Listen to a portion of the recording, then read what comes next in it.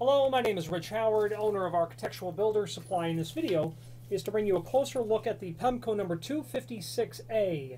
This is a half saddle threshold.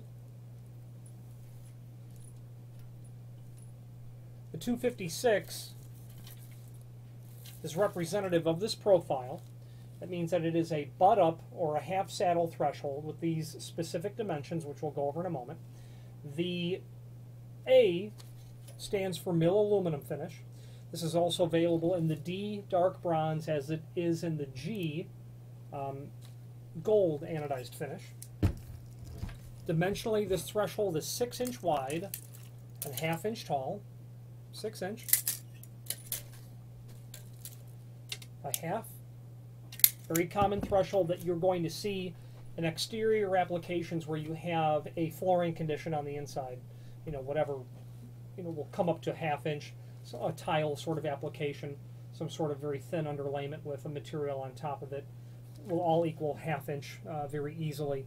This is um, also very commonly seen to just help correct an offset between two disparate levels of concrete is really what it is. You'll see these very commonly installed, even in residential applications, where you have that flooring condition on the inside, and this is going to sit over the sill on the outside it is very appropriate to have a door, uh, maybe uh, with a brush style automatic door bottom would complement this very well. This is just one of several different profiles of half saddle thresholds and really what changes are obviously the width, the height, and then the overall profile of it being a bump up, butt up, or a half saddle threshold. Not a bump up, but a butt up or a half saddle threshold. Available in several different lengths, if you have need for a custom length, by all means let us know by ordering the next longest piece or pieces and indicate in the comment field what length you'd like for us to cut the material back to. The reasoning is, is if you had to take this 48 inch piece and cut it down to say 42 inch, you'd likely eliminate that countersink that's there. And speaking of that countersink, screws are included in a complementary finish.